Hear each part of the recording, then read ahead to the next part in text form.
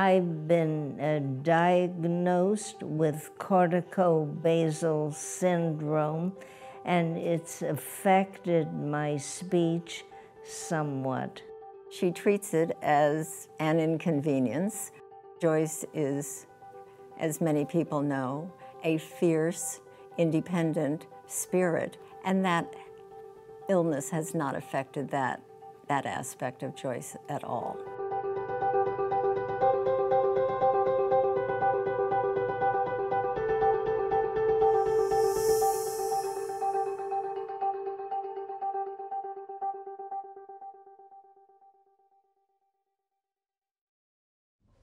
I always thought that I was a visual artist. I had been showing and selling my work. I always wanted to go to graduate school, and when they announced the MFA program at UC SD. I ran up the hill as fast as I could. They accepted me. The professors were tough on me, and I learned conceptual uh, basis of art. I put away my representation and drawing with when I went to UCSD, I was leaning uh, toward the conceptual, but that uh, confirmed it for me.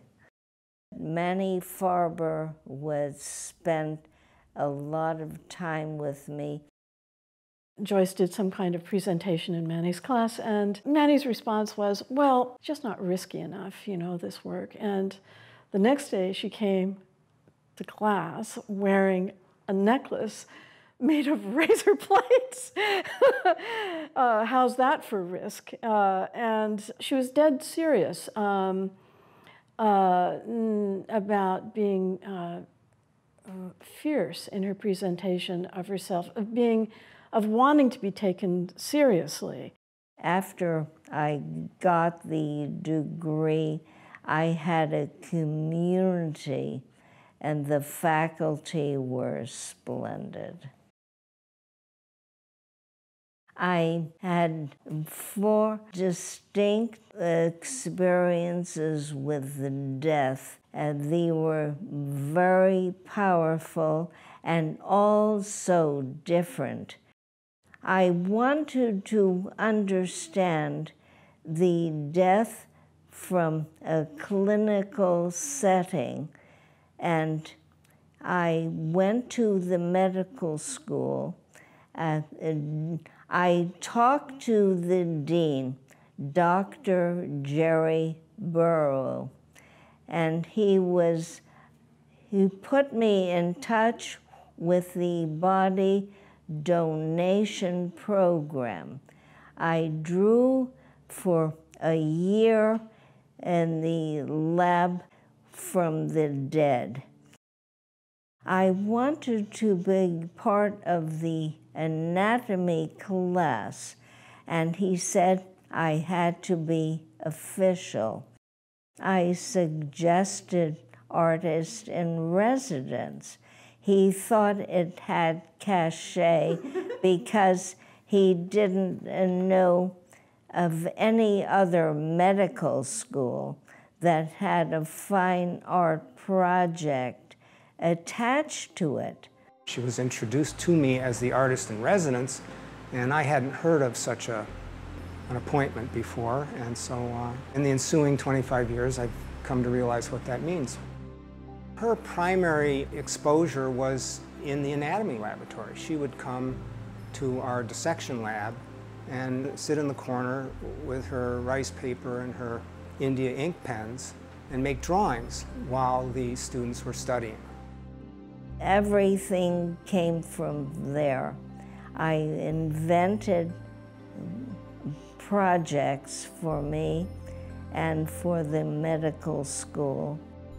She's remarkable for her approach to her art and um, is very involved in talking about and demonstrating the areas of overlap between art and human biology, human anatomy. The inspiration was Rembrandt and a whole series of anatomy lessons that are historically important.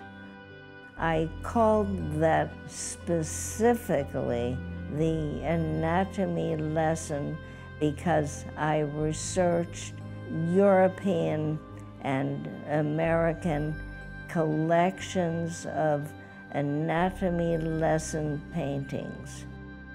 People have a hard time uh, uh, thinking about death. It's, it's, something we all face, but it's still a hard thing to, to confront.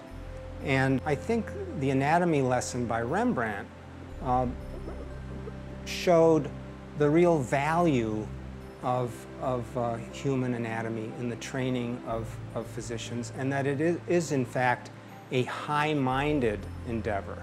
Joyce's work does the same thing. She celebrates anatomy, and I think that's of great value. She teaches a course, an elective to the medical students, entitled uh, Drawing as a Way of Seeing. Turns out I'm the titular director of the course because I have a faculty appointment and her appointment doesn't include being able to solely run a course. So I'm, I'm, sort of the head of the course, but she teaches it. And, and my main involvement in the course was I actually took it. Joyce's interest in the human body and human anatomy is, of course, that of an artist, but also that of sort of a humanist. I mean, she looks at the body from a comparative standpoint and as a visual exercise. So she sees connections between human anatomy and the anatomy of, of other vertebrates. The library has a permanent installation of Joyce's work, The Alphabet of Bones. I have heard students refer to this as the dark corner of the hallway as you come towards special collections. Up in the soffit is, are actually the cutouts silvered on wood of the alphabet of bones. And then in the, the dark corner are Joyce's prints of the alphabet of bones. Superimposed on that are 15 of her original drawings.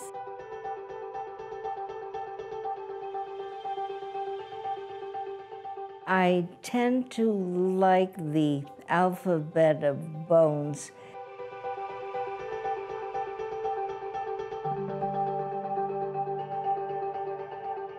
It's an original calligraphy and one of my best ideas. My themes are survival, evolution, and transformation. All my work is uh, about these three themes. The anatomy lesson was natural to encompass the life cycle, death, and the human body, and hope, and the cosmos itself.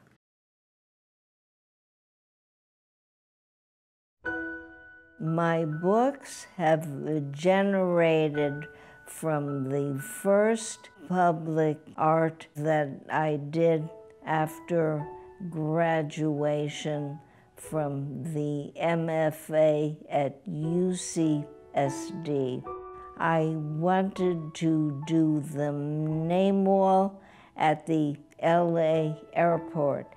They asked me to send a letter my husband who was in the proposal industry, said I shouldn't have sent a letter, I should do a proposal book.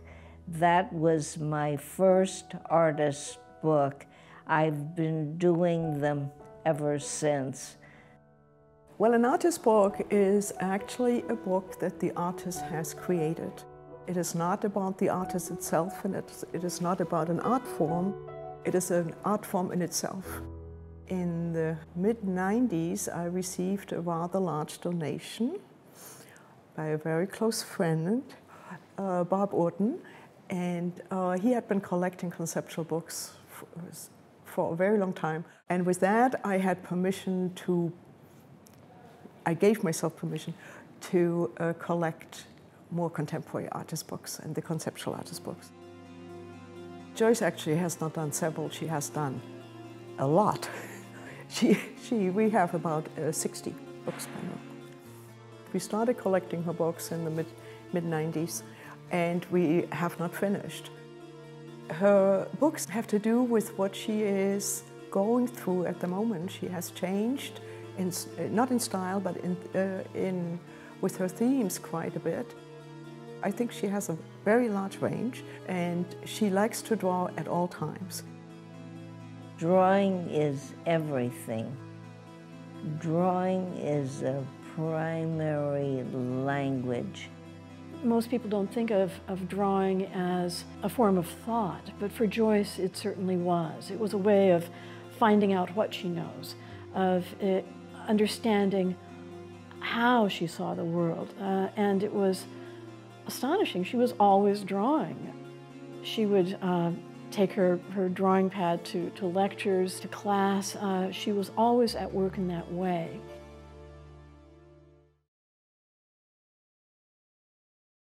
The work that Joyce creates for the public sector has a, a universal appeal in the sense that everyone experiences it in a different way my interest in uh, public art seemed to have, as all my works do, generated from intense personal experience. I will uh, give the in conceptual intent of the sculpture and the space itself and its function.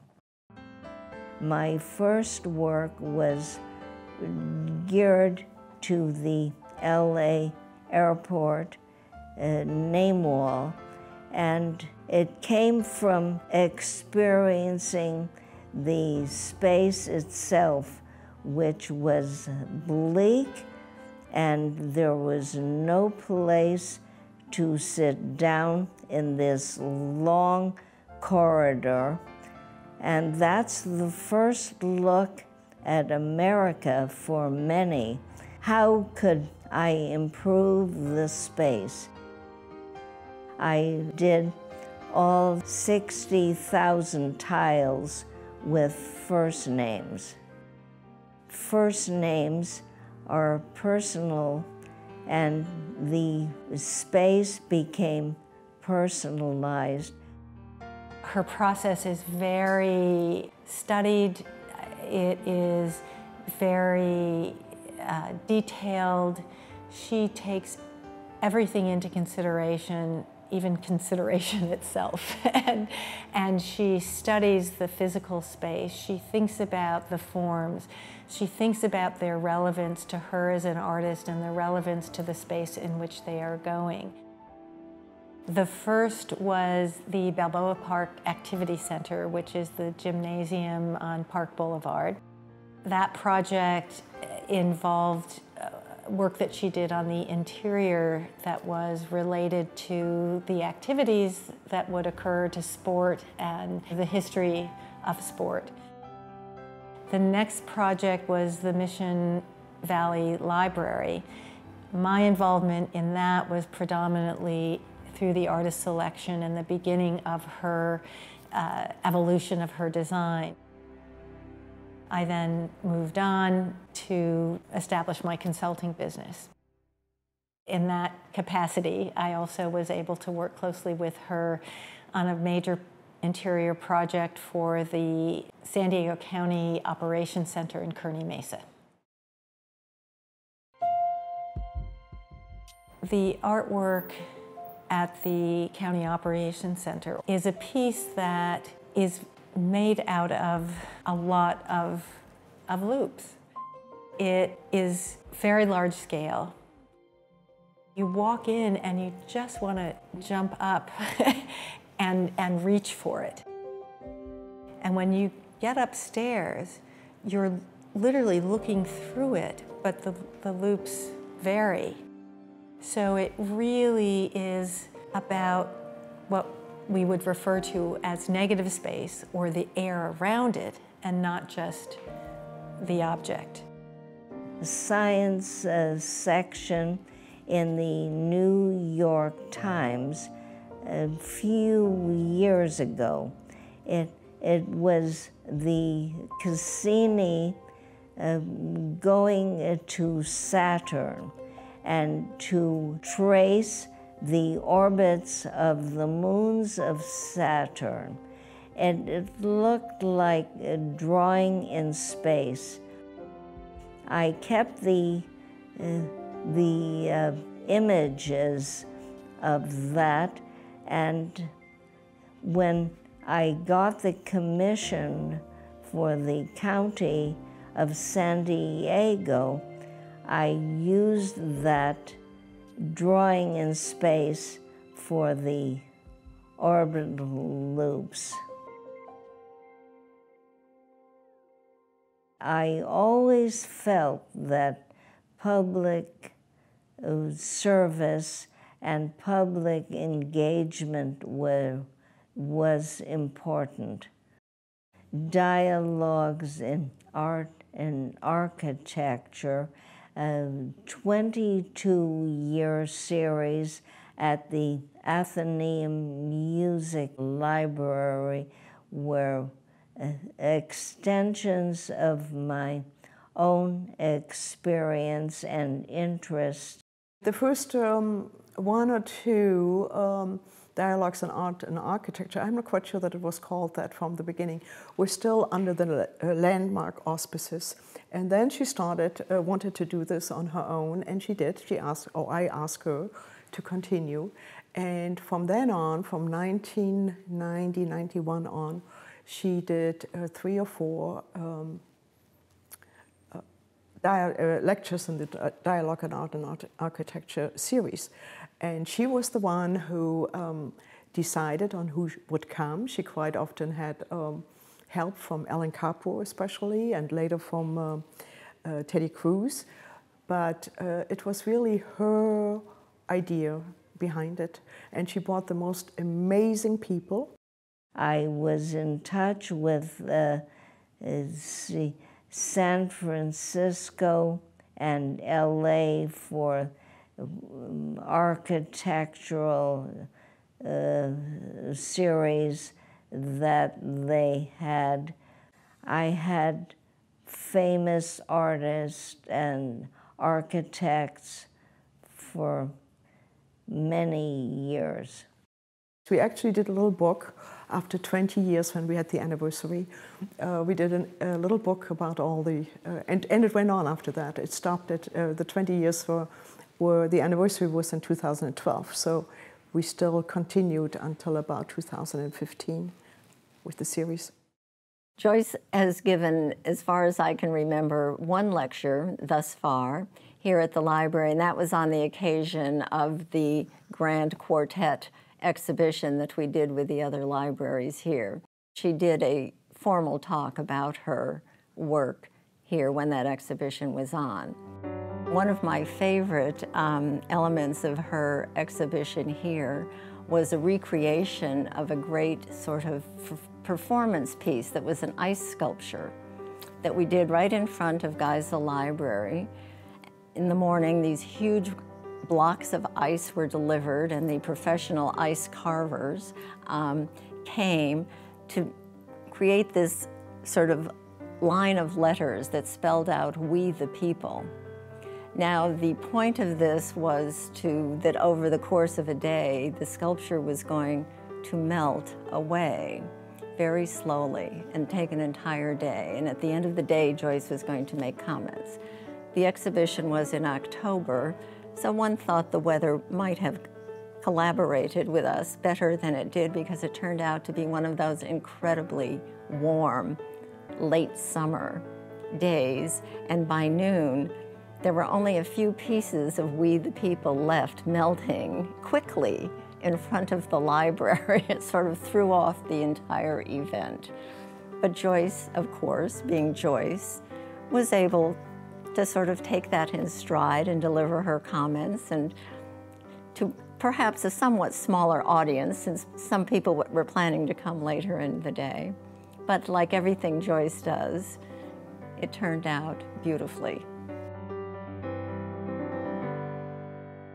The clarity of Joyce's work comes from matching the, the, the medium uh, to not only the, the message, but to the, the, the essence of the work. All my works uh, uh, relate to the three themes that I've uh, outlined, and the medium emerges. One of the things that is also really important to say is how many different mediums she became master of. Small little sculptural books, books that open and close in very strange ways, like, like theaters. Her large scale sculptures in public spaces, her public performances, her exhibitions her poetry. From primeval deep cover, when our imagination happened, when we first stood upright on two feet, when we freed our hands from manual labor, when we strode through tall grasses across African plains, curved backs on bent knees, our dangling arms, ground grazing, being ground savvy, until we arc ourselves up to overlook tall grasses gravity centered in our spine, with its axis in a nearly straight line. Bone is alive. Our skeleton is alive. Our armature, our primary structure, alive with the growth of bone, alive with the living tissue of bone, the lacunae and lamellae of bone, the fiber of bone, the network of canaliculi of bone. She wanted to embody the imperative of communication and the delight of thought, and she used things we would rather not look at the human body in shreds or people dying from dementia, but she would look at it with clear eyed intensity, with full understanding of what was going on, and take these subjects and, and turn them into I think, objects of, of, of beauty. I think that in her case, beauty is a kind of debris of, of study and thought and the desire to communicate, but shimmering, beautiful, arresting beauty or debris, nevertheless. Joyce is a lot of fun. I'm very drawn to her quirkiness and her eccentricities, the character of her art, and the fun of her art and the depth of her art are very much defining qualities of Joyce herself. Joyce grapples with some um, very, very deep issues. And um, she is, uh, through her art, uh, giving expression to environmental interests. Her theme has to do with uh, the human condition. She always has such wonderful ideas. She is so interested in absolutely everything. She has a great sense of humor. She's highly organized. I admire all of that about Joyce. She just is a Renaissance woman. Do you seal the drawings? Yes, mm -hmm. it's uh, like. Joyce's illness has sharpened her poetry. As we know already, it's uh, her ability to speak that's been compromised. But her brain uh, certainly has not been affected. She's as, as, as sharp, engaging, as ferocious, uh, as, uh, as much a friend as ever. Very much engaged, not only with people, but with her work. Her work isn't finished. She's, uh, she still has many projects that she's overseeing. It's her whole body of work that's significant to me. If the work doesn't uh, give its own rewards and uh, uh, the stage you're in doesn't suggest the next uh, stage, they're in the wrong profession.